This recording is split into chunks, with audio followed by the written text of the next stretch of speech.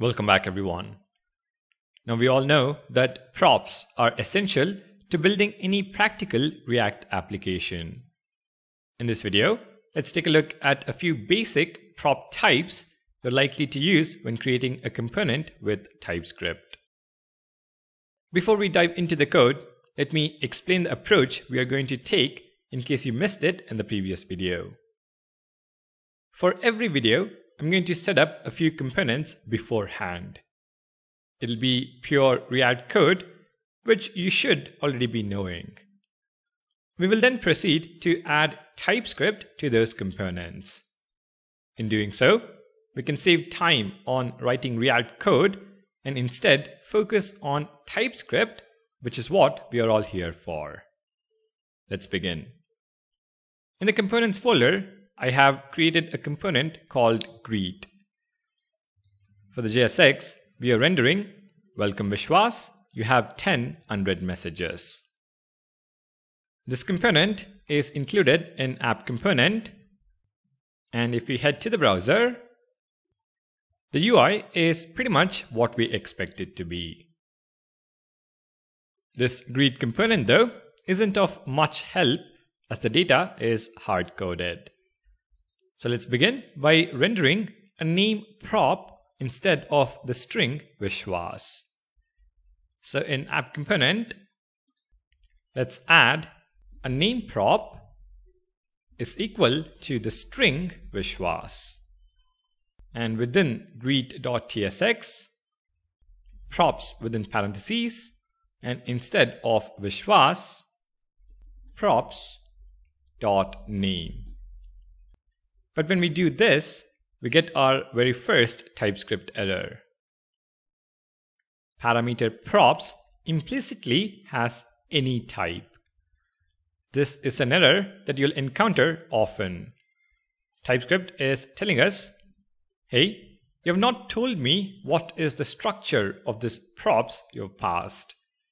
You're saying it could be any structure, which I'm not happy about. I'm pretty strict when it comes to this, and you need to let me know what is the type for the props you've passed in. So we need a way to inform the type of props to TypeScript. And we do that using the type keyword.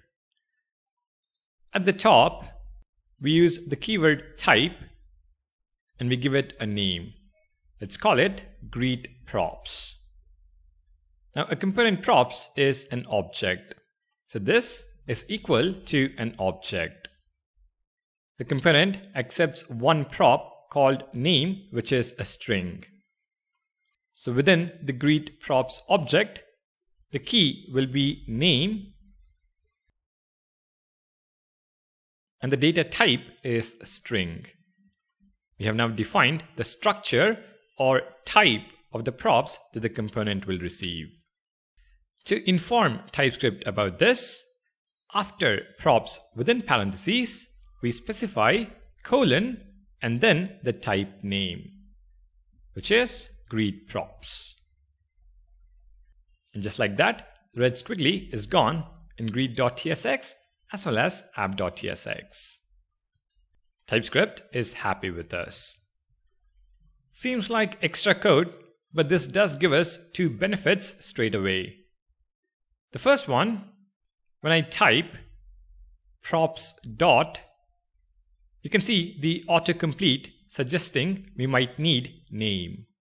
So I don't have to spend time thinking if I passed in name or f name or l name and so on.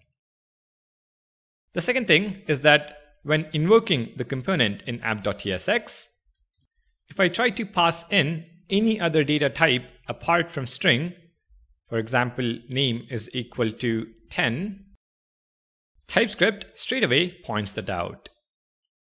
Type number is not assignable to type string. And this is a big win as we are able to identify issues when we are typing the code rather than figuring out in the browser. And this is pretty much how you type props for a React component. Now, a question you might have is whether to use types or interfaces. When I started, I had come across an article that suggested use types when building applications and interfaces when building libraries. It is something I followed and is why I will use types in this series. Having said that, taking into consideration the latest TypeScript releases, there is hardly any difference in using one over the other. I would still recommend you use types as that will make it easier for you to follow along. Alright, in the next video, let's take a look at a few more basic prop types to make ourselves familiar with the whole process of typing component props. Thank you for watching, and I'll see you in the next one.